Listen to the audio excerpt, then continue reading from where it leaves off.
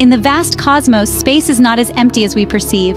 Space is filled with invisible matter, radiant energy, and the unending dance of celestial bodies.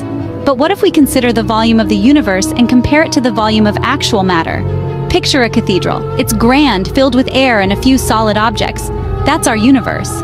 Now imagine a grain of sand in that cathedral. That grain represents all the stars, galaxies, and everything we can perceive. Astounding, isn't it? The universe, in essence, is emptiness speckled with tiny particles of matter.